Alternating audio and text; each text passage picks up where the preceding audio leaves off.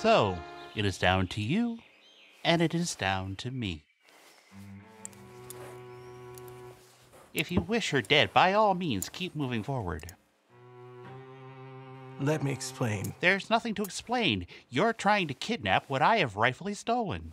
Perhaps an arrangement can be reached? There will be no arrangement. Then you're killing her. Well, if there can be no arrangement, then we are at an impasse. I'm afraid so.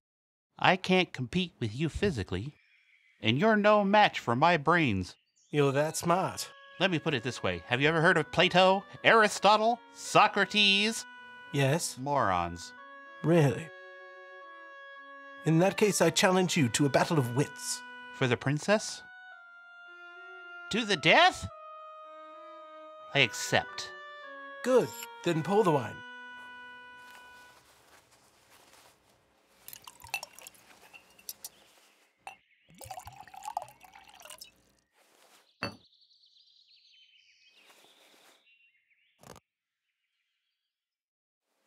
Inhale this, but do not touch. I smell nothing. What you do not smell is called iocane powder. It is odorless, tasteless, dissolves instantly in liquid, and is among the more deadly poisons known to man. Hmm.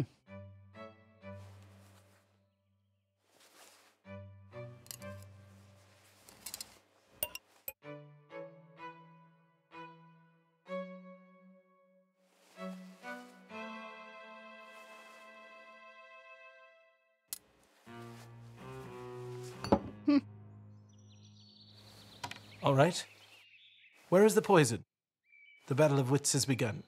It ends when you decide and we both drink and find out who is right and who is dead. But it's so simple. All I have to do is divine from what I know of you. Are you the sort of man who would put the poison into his own goblet or his enemies?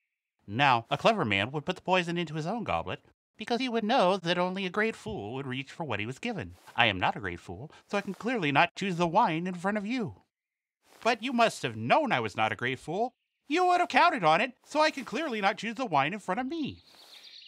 You've made your decision then? Not remotely, because iocane comes from Australia, as everyone knows, and Australia is entirely peopled with criminals, and criminals are used to having people not trust them, as you are not trusted by me, so I can clearly not choose the wine in front of you.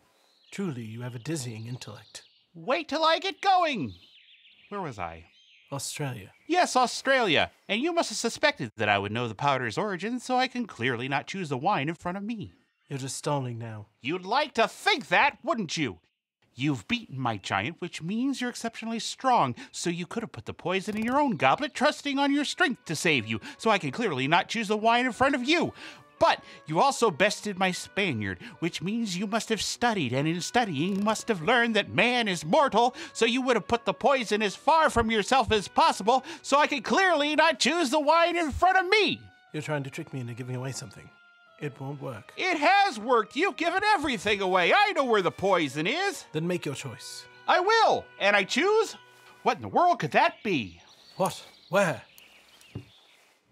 I don't see anything. Well, I could have sworn I saw something. Uh, No matter. What's so funny? I, I'll tell you in a minute. First, let's drink.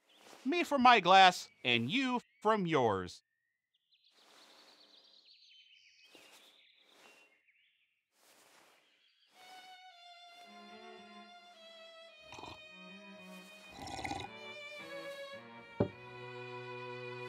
You guessed wrong.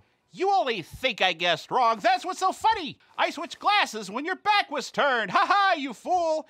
You fell victim to one of the classic blunders.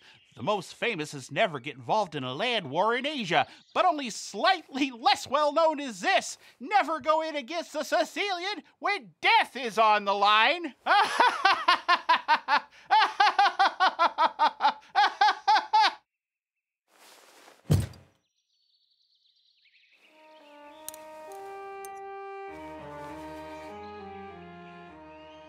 Who are you? I am known to be trifle with. That is all you ever need know. To think. All that time it was your cup that was poisoned. They were both poisoned. I've spent the last few years building up an immunity to iocane powder.